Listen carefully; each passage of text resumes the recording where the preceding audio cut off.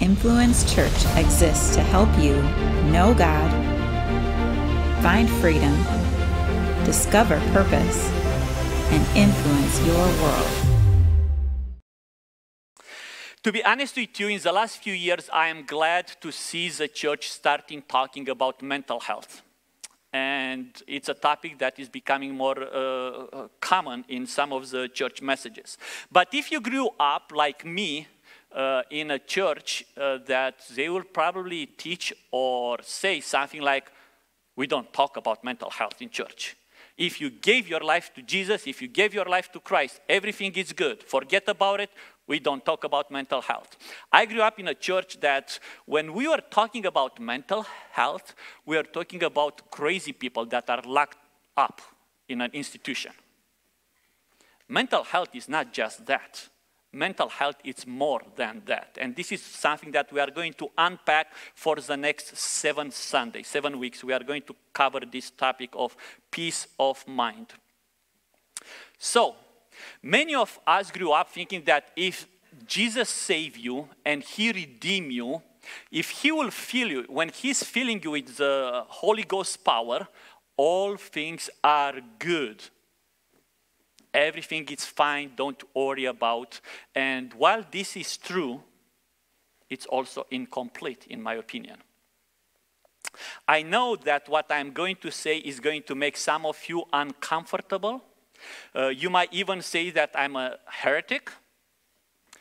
But just because Jesus saved you doesn't mean that he fixes every area of your life instantly. He can create miracles in your life. He can heal instantly. He can create small miracles in your life that are taking place instantly. But most of the time, we are living in this world and we have to go through a process. See, when Jesus saved me, when I give my life to Christ, I didn't walk up with kind of a six pack abs like this. Like, you know, I've been serving God for I told you, for 30 some years, and I'm still looking for those apps. It's not there. When you are born again, it's not like your credit score magically going to 850. When you give your life to uh, uh, Christ, it's not just miracle happen and your hair is getting thicker, or your boss that you have issues with is changed just because you give your life to Christ. No, we are still struggling with some of those in our lives. And just because you are a Christian doesn't mean instantly mental health in our lives. Let me be upfront with you. I'm not an expert in mental health. Uh, I didn't go to school. I didn't become one of those counselors that I do think the world needs in today's world. Uh, but I did research, I did study, and I want to come from an angle perspective of human, uh, human perspective, but also as a pastor, I'm going to come to this uh, topic from a spiritual perspective also. So, mental health, if we are thinking about mental health, it's including emotional well-being. Also, it's including psychological well-being. And of course, it's including social well-being. See, mental health is not just a static. It's not just something that is complete separate of our lives. It's just involved. It is involved in every area of our lives. See, mental health affect how we think, which is going to show in how we feel and will affect how we act. It's everything in the mental health. How we handle stress, how we are making choices, how we are bouncing back from difficult times or we are not. Everything has to do with our mental health. And today, I want to address two big myths that we have in church about uh, mental health. Number one, mental health, as I said earlier, is that Christians shouldn't struggle with mental health. Probably you heard that multiple times, many times. Christians shouldn't battle anxiety, depression, burnt out, And if you do, probably some of you heard this, it's your fault. Probably you don't have faith enough. Probably you didn't pray enough. Or if you pray a lot, maybe you didn't praise the, didn't the right things. And somehow it's turning to just be our fault for struggling with uh, mental health. Also, some in the churches used to say, well, if you struggle with mental health, must be a sin in your life. You have to get away of that sin. You have to take that sin out of your life, and everything will be okay. Everything will be perfect. Today, I want to show you that you can love Jesus and still fight depression. Today, I want to show you that uh, you can faithfully read God's word and still battle anxiety. You can attend church, you can sit in the front row, you can tithe, you can be involved and serve others, and still you might struggle overcome trauma that you probably had in your life. Today I'm going to look through some of the uh, heroes in the Bibles. And one of them is Elijah. I don't know if you read about Elijah, but he's a prophet of God. That he stand, uh, he stood down 800 false prophets of Baal. And one time, very shortly after that, he, uh, uh, during that uh, situation, he called fire from heaven and God answered him. I'm not sure about you, but this looks like he's on the top of the mountain. He's a prophet of God and miracles happened, right? But very shortly after that, he was so depressed that he wanted to die. David, a man after God's own heart, it's facing Goliath. And if you read the story, David was a, probably around 12 years old, a very tiny, teeny little boy, and Goliath was a huge giant. So probably uh, Goliath was uh, twice, if not three times his height. Probably Goliath was five times his uh, weight, uh, uh, David's weight. But David has this power to just come forward and say, like, who do, talking to Goliath, who do you think you are to challenge the army of the living God? And you know what? God gave David Goliath's life. And he won that battle. But David, a man after God's own heart, will find him struggling with depression and failures and anxiety and fears and so forth. And he is called the man after God's own heart. Another prophet, Jeremiah. To be honest with you, I do not want to be Jeremiah because Jeremiah was called the weeping prophet. He was whining, crying all the time. For this reason, he was called like that. And he was bringing the word of God. He was God's messenger. But still, he struggled with loneliness, with insecurity, and actually, he cursed the day that he was born. I don't want to depress you, but I want to show you that dealing with mental health it's okay as long as we depend and we trust in God. Struggling mentally, most of Christians keep saying that you need more of God, you need more of God, you need more of God. And trust me, we all do need more of God. But also, we might need maybe more sleep. But also, we might need maybe better friends that will help us overcome the struggles. We do need God, but also we might need a healthier diet in our lives. We might need to see a doctor because of hormone deficiency, or we might have a chemical imbalance in our body. We might need counseling or therapy. Don't get me wrong, we need God in our life more and more, but also we might need some of those, which, by the way, are not evil, as sometimes the church describes them. So, struggling doesn't mean you are not a good Christian. Struggling with mental health, in my opinion, means that you are human, that we are human. Second myth that I would like to cover today is that God doesn't care about your mental health. Have you ever looked recently to the world? Do you think God really care about you and your mental health when are so many wars and so many uh, uh, struggles in the world? God is too busy with bigger problems.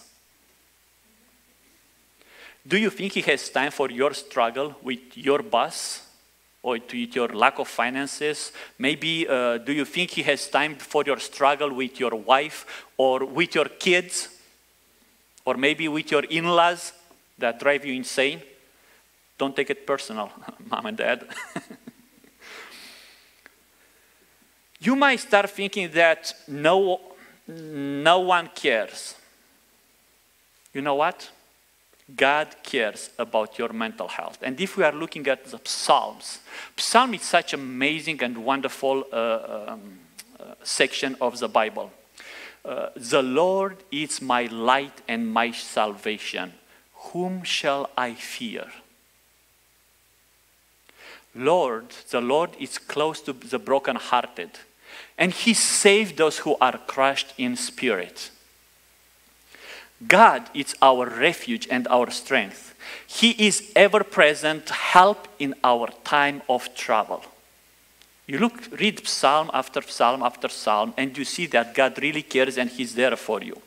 Lord is my shepherd, I shall not want. He makes me lay down in green pasture. He restores my soul, even if I walk through the valley of shadow of death. I will feel no evil because he is with me. His mercy and his goodness will follow me. Not just some days, not just every other days.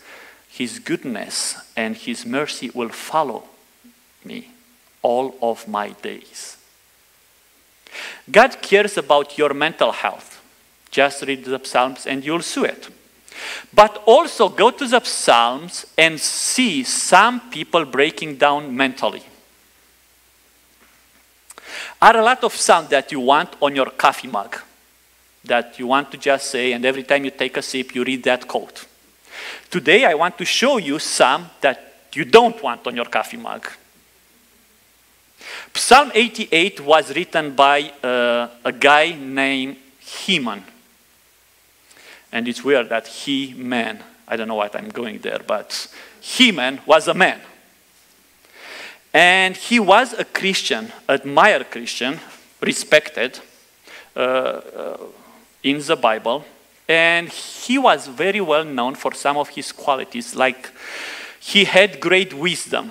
And if I'm putting up some of those uh, Bible verses, just for you to look if you want to uh, read more about uh, Heman. He had great wisdom. Also, he had musical ability. This is a guy that maybe it's uh, uh, on your worship team, or he's leading songs, or he's praying, or he's on your band. He had musical abilities, and he was using those for praising God. Also, we can read in the Bible to find out that he had a lot of kids and he was a very committed father, parenting, and good qualities. Also, we find out in uh, First Chronicle that he was serving the king, and he was a good servant of the king. This is a guy that is your uh, deacon in the church, that is a guy you want to become like. Maybe uh, this is a, a, Christian model, like uh, hopefully your pastor, and so on. So, this is a guy that you might want as your father in law, and so on. This is a man of God. But also, let me show you what he said in Psalm 88. This is a psalm that he wrote. Now, spoiler alert. This is one of the two psalms of all of the psalms that doesn't have a happy ending. A lot of times in the psalms, you see people whining and complaining, and at the end, they will say, but the Lord is faithful. This man of God says this, and wondering how many of you can relate. Psalm 88 verse 3 I am overwhelmed with troubles, and my life draws near to death. I am counted among those who go down to the pit. I am like one without strength. Verse 5 I am set apart with the dead, like the slain who, who lie in the grave, whom you remember no more, who are cut off from your care. Welcome to Influence Church, where we love to bring you uplifting messages. but then we'll see something that he gets it right. And what he gets right is the very same thing that many of you get right. Because in the middle of the struggles, in the middle of the problem, in the middle of the anxiety and depression, you still find the time to go to church. You still find time to trust in God, to lean on Him. You are doing the right thing in the middle of your despair struggles with your mental health. Mental health. When you turn to God, when you are becoming part of a Christian group. So, verse 13, we are jumping few verses, is saying this But I cry to you for help, Lord. He's turning to God. In the morning, first thing that he does, my prayers comes before you. And even though he turns to God, he keeps saying, Why, Lord, do you reject me and hide your face from me? And the last verse of this psalm, he is saying this You have taken from me friend and neighbor. Darkness is my closest friend. This is how he's ending Psalm 88. This is something that probably you do not want on your coffee mug. This guy loved God. This guy served God. This guy is in the Bible. And you know what? I love that his story is written in the Bible. Because many of us, at some time in our life, related with this guy. And we thought we are not Christian enough. And we thought we don't love God enough because we are struggling with mental health. I love that it's here in the Bible, and I love that it's no happy ending. To show us that God is not afraid of our honesty, that He cares, that you might love Him and you might question Him, that you might worship Him and you might hurt. And when you hurt, He cares. He definitely cares. This is where I was a year ago where I was trying to balance everything and anything in my life and I was hurting. On the outside, I was perfect okay. But on the inside, something was not right. I end up going to the doctor and I told the doctor, Doctor, hey, doc, something is wrong with me. And he did some tests and he did some blood drawing and he figured out what was wrong with me. And then he said, Is nothing wrong with you. Like, you have no idea what I'm going through. Well, physically, you are perfect okay. And then we start talking about how my life is and everything on my plate. And it's like, well, your problem is not physical. Your problem is emotional. Your problem is spiritual. Your problem is that you have too much on your plate and you don't know how to process everything. And your mind is just going all over the place instead of staying focused on what you need to stay focused on. So, finding out that I'm not uh, sick, I have no problem, I have no struggles, but then I like, why don't I sleep at night? Why I wake up panicking and have anxiety and so forth. And after talking and talking, uh, of course, he gave me some uh, uh guidance and what I should do. Like, you know what? Why don't you just start exercising more? Why don't you start going out and do some walks more instead of just staying in front of a computer and uh, work on all kind of things just at your desk? And so on. But something that I want to mention to each of you is like, many people might say like, you are a pastor and you called a doctor? You know what? I had to leave, uh, set aside my pride. I had to set aside my uh, uh, attitude and realize that, hey, I need help. Getting help is not a sign of weakness, it's a sign of wisdom. But many of us are growing in today's culture, in today's society, that, oh, you can do that. You can do this on your own. Don't worry about it. Don't ask, don't tell anyone. Just you can do it. Just pray more, pray more, pray more, and everything will be okay. Asking for help, it is a sign of, it's not a sign of weakness, it's a sign of wisdom. So, as I said, doctor said, well, it's nothing really uh, wrong with you. And then I start thinking about the greatest command that Jesus gave us. If you remember in Matthew 22, uh, verse 37, um, the, some of the people, uh, teachers of the law, went to Jesus trying to trap him. And it's like, uh, Teacher, which one is the greatest command? And Jesus replied, Love the Lord your God with all your heart, with all your soul, and with all your mind. I start thinking, you know what? I love God with all my heart. I love God with all my soul. But how do I love God with all my mind? And I start thinking and thinking about this. Craig Groeschel, in one of his books, Winning the War in Your Mind, said that life is moving in the direction of your strongest thought. Life is going, it's moving in the direction of your strongest thought. See, our brain, it's a complex, complex organ. Brains built over time.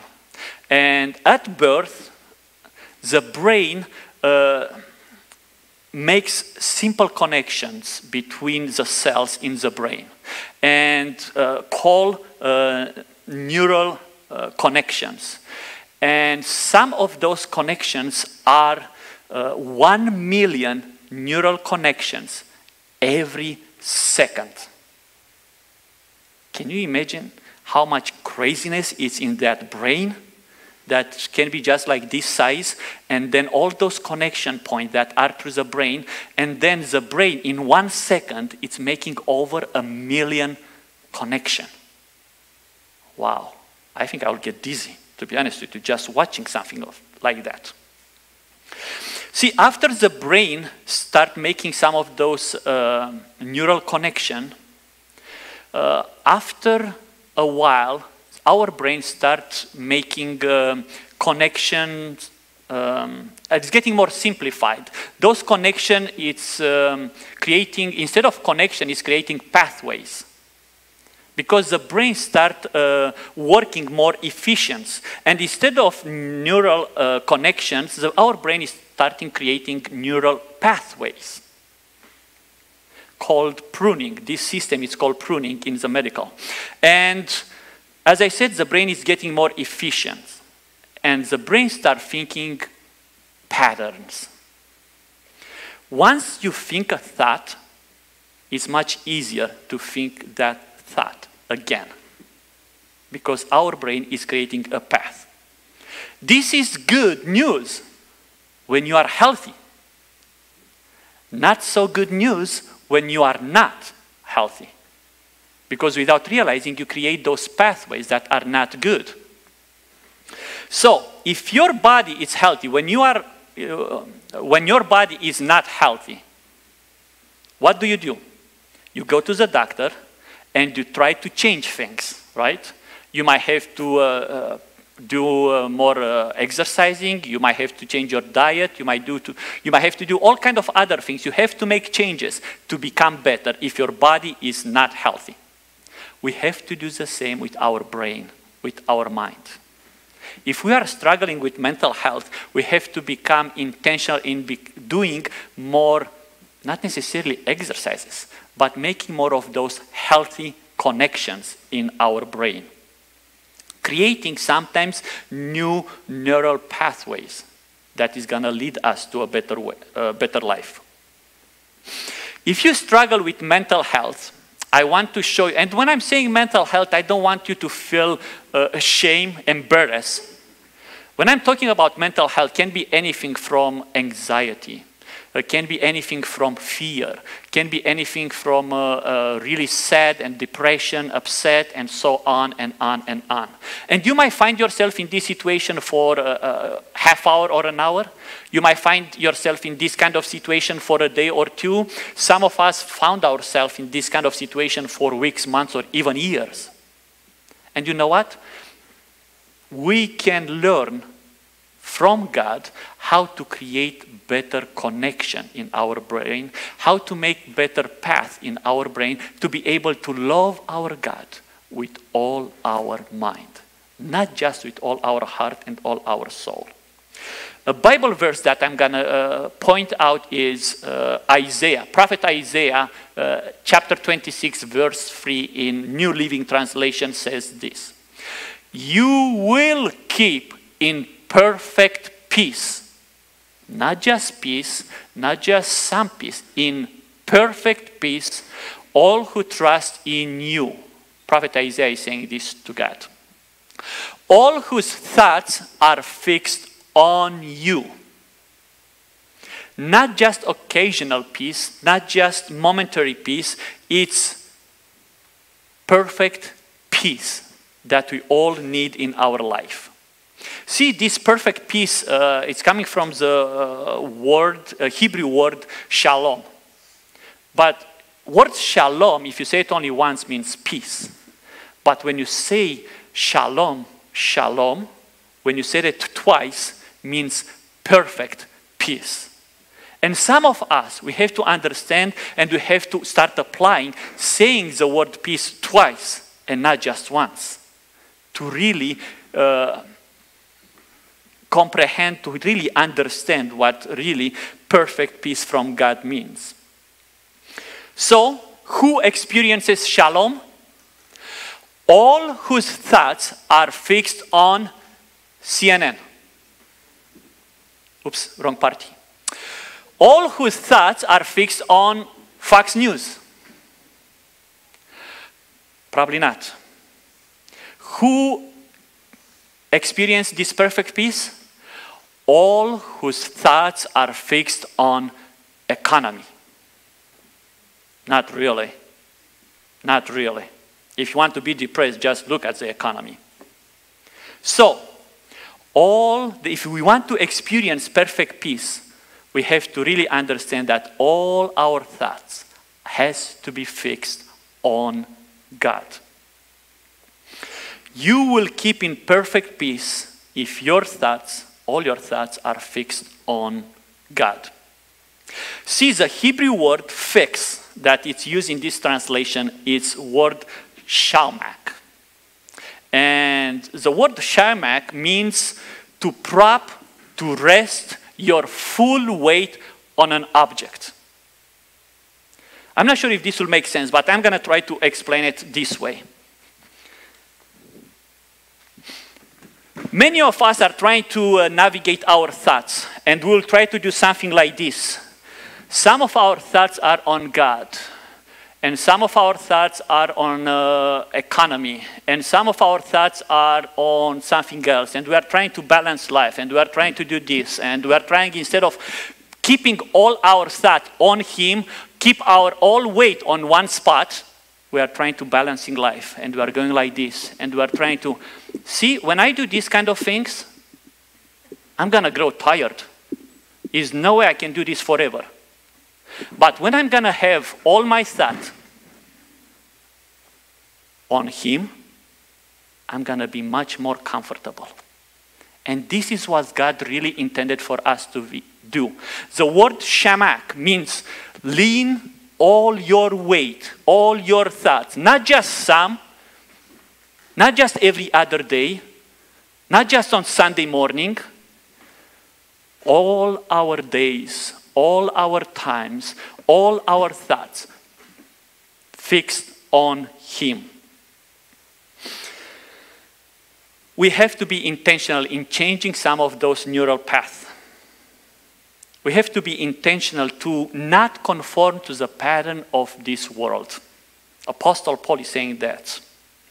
We cannot find perfect peace from God and still be conformed with the negativity of this world, with the toxicity of this world, with the hatred, the bitterness, and everything else that is in this world.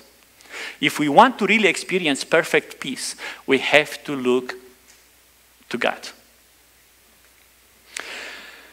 Because Apostle Peter said this in 2 Peter verse 1, uh, chapter 1, verse 3. His divine power has given us everything we need for a godly life through our knowledge of Him. Instead of saying, I cannot trust God, uh, if, instead of saying it's too much, you know, instead of saying I will never get it done. I will never get better. Instead of saying this is going to kill me, uh, instead of saying that nobody cares, we have to just turn to God and realize that His divine power is enough for us to uh, overcome any, any mental health that we might have. So, when I realized this, that God is my source and my strength. When I realize that I have everything I need to do everything He called me to do, let me just say it one more time. When I realize that God is my source and my strength, when I realize that I have everything I need to do everything He called me to do, I instantly got better. I wish I wish. Took me days, took me weeks, took me some of us maybe months to really process everything, but slowly, but steady, I became better. Through just developing new pathways in my brain. And this is how we can develop our brain to love our God with all our mind by being intentional in developing new pathways that will lead more to God than anywhere else. So, next week, we are so today for today i want to just destroy those two uh, myths and you might say like well what's next in the next uh, six weeks we are going to study and we are going to look at uh, next week we are going to talk about anxiety and the week after that, we are going to talk about depression. And then the week after that, we'll talk about worries. And the week after that, if I haven't got you yet, I'm going to talk about chronic negativity. And seeing the world through negative lens. We are going to talk about trauma, deep pain, we are going to talk about deep healing, and then we will talk about burnt out. We are going to live out Jesus' promises. Think about this uh, series uh, of, on mental health, peace of mind, like an onions that we are going to peel one layer at a time until we get to the core of what Jesus is for each one of us. And He's uh, designed for us to have a life, abundant life here on earth, and for us to receive that perfect peace that we need in our uh, life. See, John 14, 27 um, is last Bible verse I'm going to use probably. He's saying this Peace I leave, Jesus' words, peace I leave with you. My peace I give you is not any peace, is not a peace. My peace, Jesus said, my peace I give you, and I do not give to you as the world give. Because let's be honest, we don't want the world peace. Because the world peace is not perfect peace. The world peace might be temporary, might be seasonal, but I want the perfect peace. that can help me through my struggles. If you read this Bible verse that Jesus said, and if you look at the context, when he said this verse, when he said those words, was the night before his suffering. He knew exactly what he's going to suffer the next day. And he still had peace.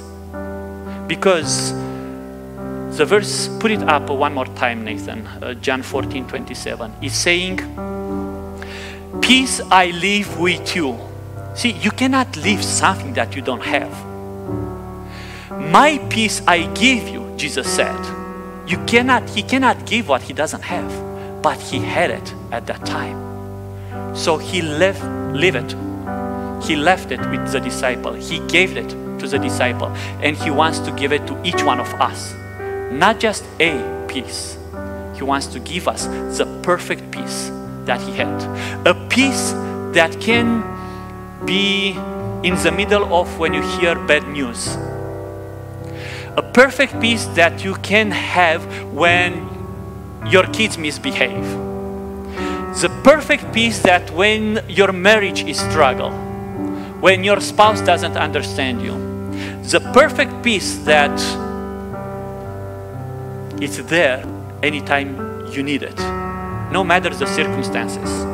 See, peace is not found in absence of problems. The perfect peace is found in the presence of God. Let me say it one more time.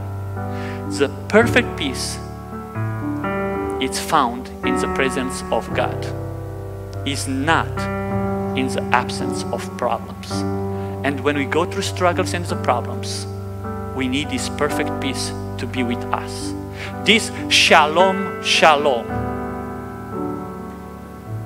Peace from God that the world cannot give. But, and something else I want each one of us to understand is this. When you receive the perfect peace from God, the world cannot take it away. The world will not be able to take that peace from you.